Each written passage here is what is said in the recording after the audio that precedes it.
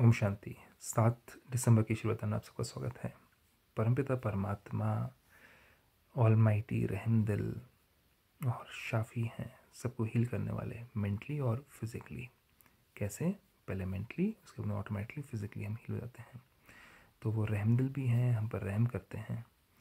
सबसे पहले तो हम ये जानना चाहेंगे कि परमात्मा को, पिता को अल्लाह भी कहा जाता है, रहमान रहीम भी कहा जाता है। कि हम पर रहम करने वाले रहीम है वो। तो इसलिए परमात्मा कहते हैं कि बाप समान हर आत्मा पर कृपा व रहम करने वाले मास्टर रहमदिल भवा। जैसे वो हैं, वैसे हम भी मास्टर रहमान रहीम बन जाएँ। तो जैसे बाप रहम दिल हैं, ऐसे आप बच्चे भी सब पर कृपा व रहम करेंगे, क्योंकि बाप समान निमित्त बने हुए हो।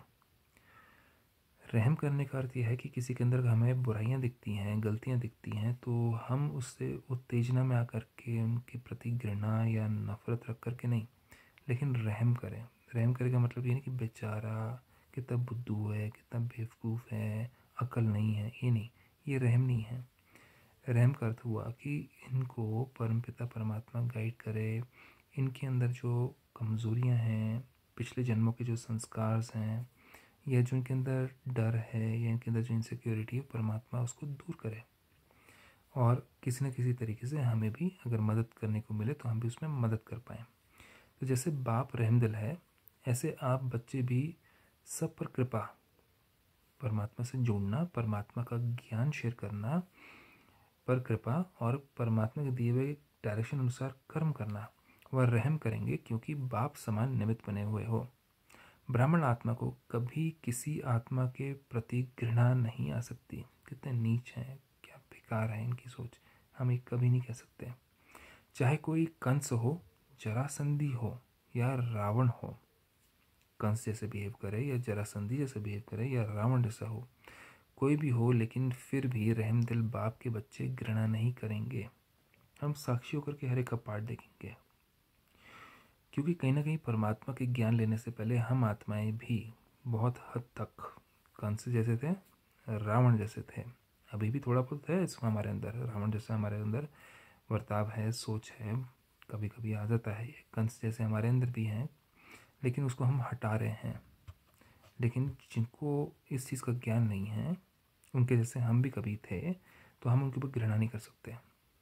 या अभी भी हमारे अंदर वो कंप्लीट प्योरिटी नहीं आई, जो कि हम किसी को घृणा कर पाएँ और अगर हमारे अंदर प्योरिटी आती है तो हम घृणा कर ही नहीं सकते हैं, पहली बात तो। तो कोई भी हो, लेकिन फिर भी रहमदिल बाप के बच्चे घृणा नहीं करेंगे। परिवर्तन की भावना, कल्याण की भावना रखेंगे, क्योंकि फिर भी अपना परिवार है।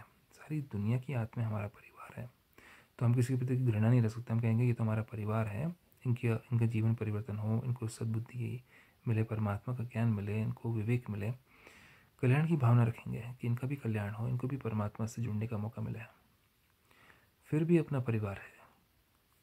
परवश है। किसके परवश है? पिछले जन्मों के संस्कारों के परवश है। तो उनकी गलती नहीं है। परवश के ऊपर घृणा नहीं आती। कोई व्यक्ति, छोटा बच्चा, वो पिताजी के गोद में हो और उनके कान खींच रहा हो, उनके गाल खींच रहा हो तो आप क्या करेंगे? इसको चमाट होने मारेंगे।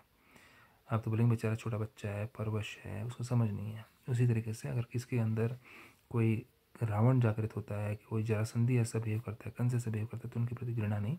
उनको वैसे ही वो बच्चा समझ करके माफ़ कर देना, रहम करना उनके ऊपर।